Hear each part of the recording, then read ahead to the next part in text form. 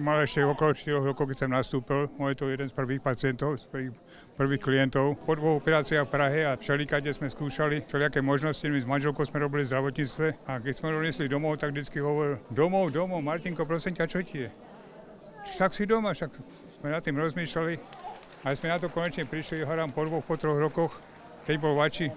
On domov má vlastne tu v ústave, to už je tiež 40, 40 rokov už. Martin je jeden z 30 zdravotne znevýhodnených klientov, ktorí bývajú v domove sociálnych služieb v Pastuchove. Stará sa tu o nich obetavý personál spolu s pani riaditeľkou Máriou Grznárovou. Je to náročné, pretože naozaj do zariadení sa dostávajú klienti s rôznymi diagnózami alebo pridruženými. Vždy je tam tá e, základná mentálna retardácia s tým, že teda ešte sú ďalšie pridružené. A už keď je tam autizmus, už keď je tam nejaký ťažký zdravotný postih alebo nejaká psychiatrická diagnoza, musíte pristupovať individuálne ku každému jednému. Domov oslavuje 40. výročie od svojho založenia. Cesta za vytvorením priaznivých podmienok domova pôvodne pre detských, dnes už len dospelých klientov bola trnistá.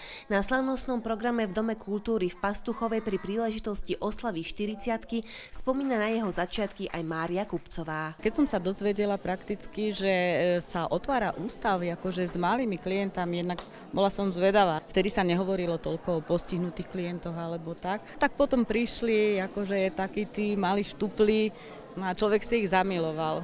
Oni sú všetkým vďační naozaj za to, nepotrebujú nejaké veľké hmotné veci, ale proste akože lásku, pohľadenie. Oni vás obdaria tak, že ste z toho šťastní.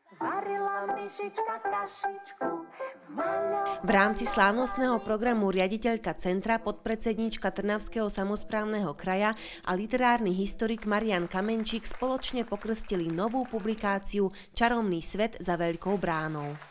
Mapuje činnosť zariadenia od roku 1983. Sú tam spomienky e, pracovníkov, dojmy klientov, taktiež aj rodičov. Samozrejme, e, je tu aj e, zmapovaná história od pani riaditeľky zariadenia a taktiež je tu bohatá fotodokumentácia. Pokľakni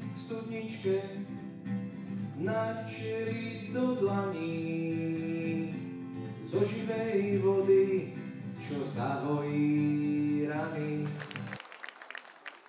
Domov pre zdravotne znevýhodnených sa čoskoro možno dočká nových priestorov. Máme úmysly hlavne kvôli moderným priestorom a dostupnosti iných služieb, ktoré klienti potrebujú, zariadenie obnoviť renovovať. Pripravuje sa projekt, ktorý by splňal také naozaj už kritéria tejto doby, áno, čo všetko potrebujú. Takže e, v bývalej budove obchodnej akadémie v Lohovci by mali byť e, zriadené priestory pre 40 klientov. Byť v spoločnosti dobrých ľudí, to je to najviac. Ďakujem. O konkrétnom dátume presunu domova do Hlohovca ešte hovoriť nemožno. Nové priestory by teda mali zvýšiť kapacitu zariadenia a zlepšiť úroveň bývania klientom.